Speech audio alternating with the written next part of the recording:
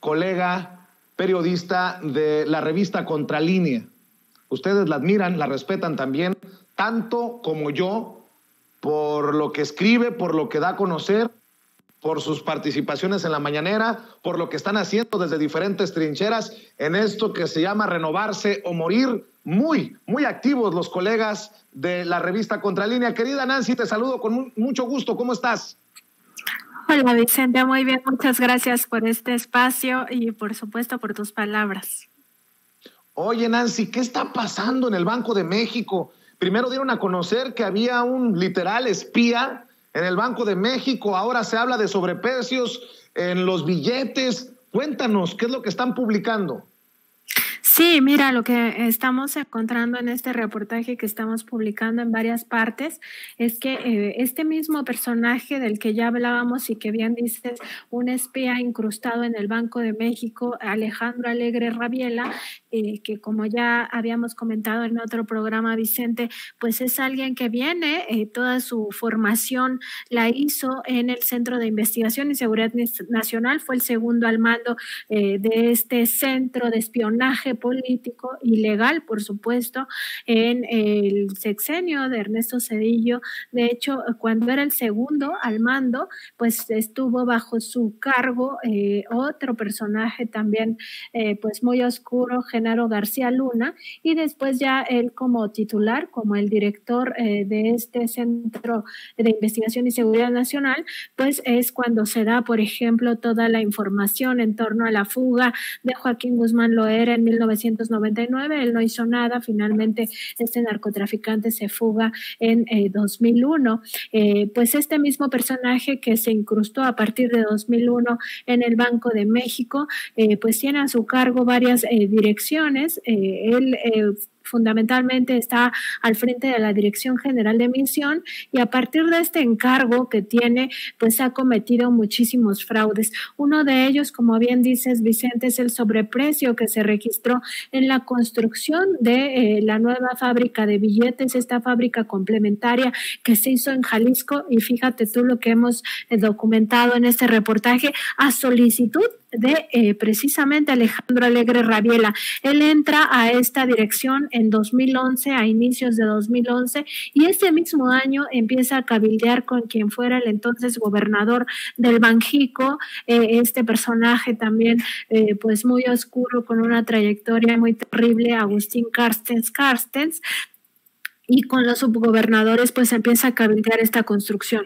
Ya para noviembre de ese año 2011 eh, se presenta ya formalmente ante esta eh, junta eh, de gobierno del Banco de México que encabezaba Agustín Carces un, proyecto que él mismo presenta para esta construcción de, de, una planta complementaria porque él decía que la planta que tiene el Banjico aquí en Legaria, en la Ciudad de México, pues era insuficiente para generar o producir todos los billetes que se necesitaban. Entonces, eh, ahí se presenta eh, este, eh, pues ya como primer proyecto y lo que le dicen entonces tanto el gobernador como los subgobernadores es que contrate a un tercero especializado para revisar si esta planta complementaria es viable o no, pero ahí mismo en esa sesión de aquel noviembre de 2011 le autorizan comprar ya el terreno que él mismo estaba y esta compra del terreno es origen de muchas irregularidades en esta construcción,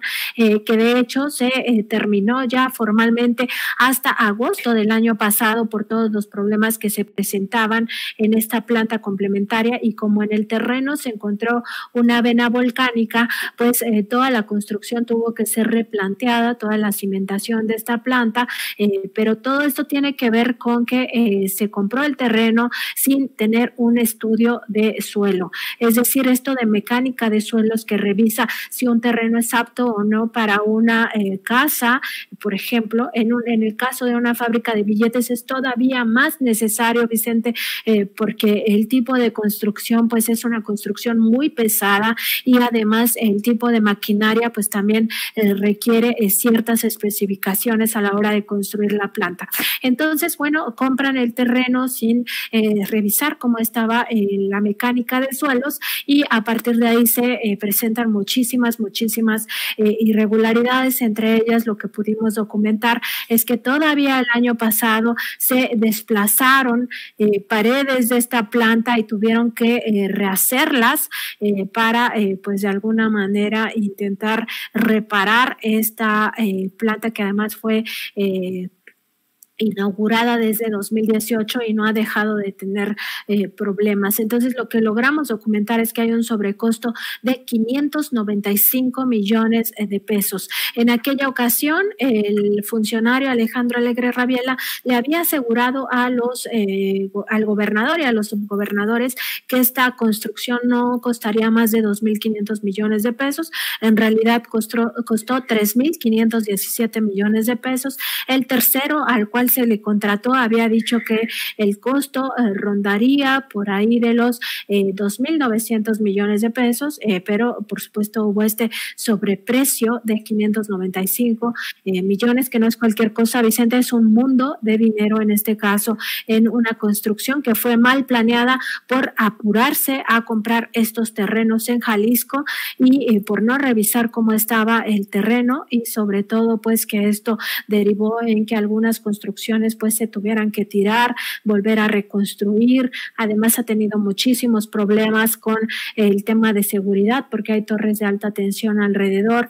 En fin, muchas cosas que se debieron saber desde antes de comprar el terreno para eh, pues no hacerlo, o sea, no, no comprar ahí, sino buscar eh, otro lugar. Pero bueno, ya sabes cómo es esto. Eh, desde ahí se vio una oportunidad de negocio y en complicidad con el entonces gobernador del Banco de México, pues se llevó a cabo eh, esta adquisición y a partir de entonces pues eh, todo derivó ya en muchísimas sobrecostos, sobreprecios por todo lo que se tuvo que tirar, reconstruir, tirar, reconstruir.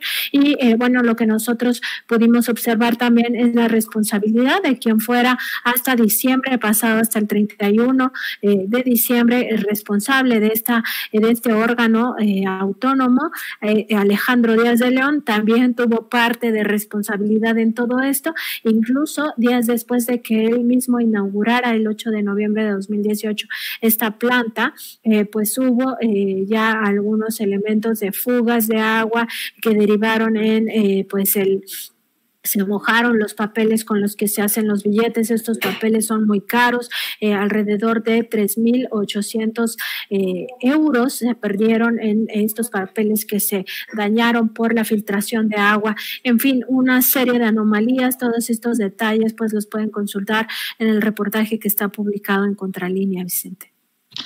Querida Nancy, no quitemos el dedo del renglón, pero también eh, necesito preguntarte tu opinión por todo lo que han publicado ustedes, grábenme muchachos, por todo lo que han publicado ustedes en la revista Contralínea, las denuncias y, desmenuzar para sus lectores y para las audiencias el tema del sindicato petrolero. ¿Qué piensas de la elección como secretario general de Ricardo Aldana, un hombre tan íntimamente relacionado con la quina primero y después con eh, Romero de Champs? Un hombre señalado por su participación como tesorero en el Pemex Gate. ¿Qué, piensas de, esto que ha ocurrido en el sindicato de trabajadores petroleros tan, tan asaltado por personajes como Romero de Champs, eh, Nancy? Pues mira, es muy lamentable que en esta ocasión no se pudiera democratizar este sindicato. Eh, sin duda iba a ser muy difícil, nosotros lo percibimos desde tiempo antes eh, de que ocurriera esta elección, que iba a ser muy difícil que no ganara Ricardo Aldana, porque como sabes, aquí en Contralínea publicamos desde el pasado eh, diciembre que el día 3 de ese mes pues se reunieron estas 36 secciones sindicales y acordaron ir con un solo candidato en entre todos eh, decidieron que fuera Ricardo Aldana y a partir de entonces pues ya estaba muy cantado que este personaje que sí, durante casi 30 años ha sido el tesorero del sindicato petrolero, llegara a la dirigencia a ocultar prácticamente todo el pasado de eh, Romero de Champs, pero sobre todo también su propio pasado, Vicente, porque como tesorero pues eh, uno no se imagina que el dinero pues no lo vea el tesorero, ¿no? Entonces, este personaje ha estado involucrado pues en casos tan terribles como el del Pemex Gate, este transferencia ilegal de recursos multimillonarios, más de mil millones de pesos que transfirió Petróleos Mexicanos al sindicato para que a su vez los triangularan a la campaña de Francisco Labastida Ochoa en aquel año de 2000 cuando se competía contra Vicente Fox, que finalmente el PRI perdió las elecciones, pero eso no quita que eh, se manejaron recursos multimillonarios de Pemex triangulados a través del sindicato y bueno, esa fue, eh, digamos, una de las muchas cuentas pendientes que tiene este personaje. Incluso acabamos de eh, dar a conocer a partir de investigaciones que ha llevado la Unidad de Inteligencia Financiera y que forman parte de las denuncias que existen en la Fiscalía General de la República contra Romero de Champs y contra el propio Ricardo Aldana, de cómo se manejaban eh, miles de millones de pesos incluso en el sexenio pasado. Aquí en todo este rastro financiero que hace la Unidad de Inteligencia Financiera, pues se da cuenta de cómo en el sexenio de Peña Nieto se le transfirieron alrededor de 20 mil millones, un poquito menos, al eh, sindicato petrolero por diferentes asuntos, pero todos supuestamente para el eh, beneficio de los trabajadores, cuando todos sabemos que los trabajadores son los que menos beneficio tienen de esos recursos. Entonces, bueno, en ese seguimiento que hizo la UIF, se ve claramente cómo eh, desde las propias finanzas del sindicato se les pagaban recursos a familiares de Romero de Champs de forma directa, pero también de forma triangulada y al final, pues esto hizo que la riqueza de, eh, por ejemplo, la esposa y los tres hijos de este ex líder eh, petrolero que ya sabemos que fue jubilado más a la fuerza eh, que porque él quisiera, pues derivó pues de este manejo financiero del propio sindicato. ¿Y quién estaba en ese manejo financiero? Pues era Ricardo Aldana. Entonces sí, muy lamentable que esto haya pasado. sin embargo, bueno, hay muchísimas denuncias de trabajadores de cómo fue cooptado el voto, cómo fueron obligados a eh, que a pesar de que esta plataforma existía para eh, de alguna manera incentivar el voto libre y secreto y directo, pues en realidad no fue así. Y recordar también, Vicente, que eh, todo este proceso se hizo prácticamente por el sindicato, es decir, quien emite la convocatoria, quien tiene la plataforma Sirvolab, quien cuenta los votos, fue el sindicato, en todo momento fue el sindicato porque el gobierno federal en esta idea de que no se puede meter en la vida sindical y algo que pues sí, nadie le puede reprochar eso al gobierno, eh, pues al final dejó en manos del sindicato, un sindicato a todas luces corrupto, eh, que toda la vida ha hecho lo que ha querido con las cuotas sindicales y con todos estos recursos multimillonarios que les eh, asignaba a petróleos mexicanos, pues hizo lo mismo, o sea, sus mismas prácticas de siempre, sus prácticas corruptas y priistas,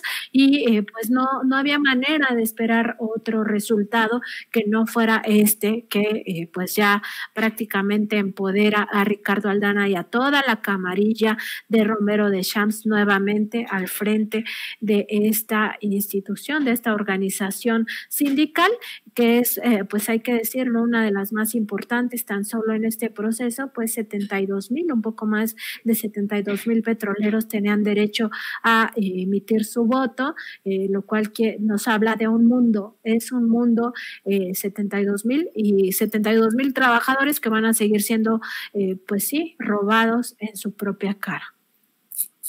Déjame cerrar diciendo, querida Nancy, que te envío todo mi respeto y mi solidaridad. Tú sabes por qué. No estás sola, ni un paso atrás.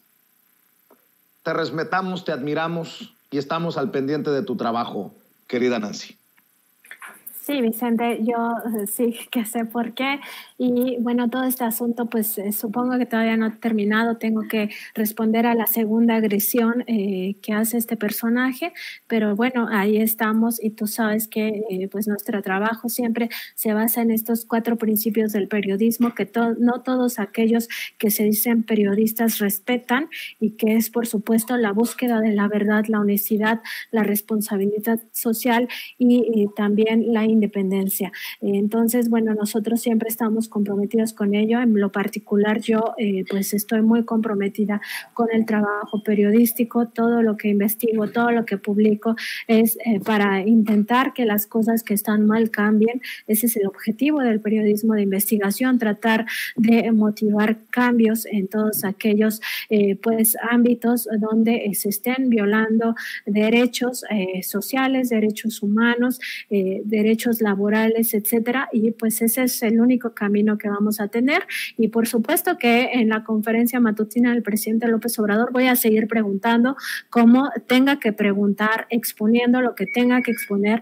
Y por supuesto que estas agresiones no limitan en nada mi libertad de expresión, ni mucho menos. Pero bueno, ya vendrá otra respuesta. Por ahora nos quedamos con ese tema, en, digamos, eh, por escrito, pero ya tendré oportunidad de opinarlo de una forma más abierta. Eh, pues ya sabes, cada vez que ocurre algo así estamos con abogados y todo el rollo.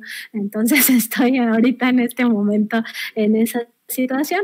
Pero bueno, yo te agradezco mucho, Vicente, y tú sabes que también nosotros siempre eh, pues eh, te apoyamos ante todas las eventualidades y todas las agresiones que también recibes. Y por supuesto que admitimos esta solidaridad eh, pues con mucho agradecimiento y también con mucho agradecimiento por los espacios que nos das, Vicente. Muchas gracias. ¿Por qué no cerramos invitando a la gente a tus espacios, a los espacios de la revista Contralínea, para que los lean, para que los escuchen, para que los eh, vean? Y también tus redes sociales, Nancy. Sí, claro, estamos ahora en nuestro canal de YouTube y en Facebook Live de lunes a viernes a partir de las 9 de la mañana. Y eh, también estamos en Twitter como arroba contralínea, en las tres redes nos encuentran como contralínea, en nuestra página de internet donde pueden acceder a todo este reportaje del Banco de México y eh, otros eh, trabajos que también tenemos es www.contralinea.com.mx. A mí en particular me encuentran como arroba nancy-contra en Twitter. Eh, Vicente, pues te agradezco mucho eh, este espacio, también tu solidaridad y también a todo tu equipo, pues su solidaridad y también eh, la oportunidad de platicar con ustedes. Te mando un abrazo, salúdanos por favor al director, al maestro Miguel Vadillo y a todos ahí en la, en la sala de redacción. Un abrazo, Nancy. Un abrazo, Vicente, a ti, a tu equipo, a toda tu audiencia. Hasta luego. Gracias, Nancy Flores corresponsal periodista de investigación de la revista Contralínea, hablando con nosotros sin censura. Mire.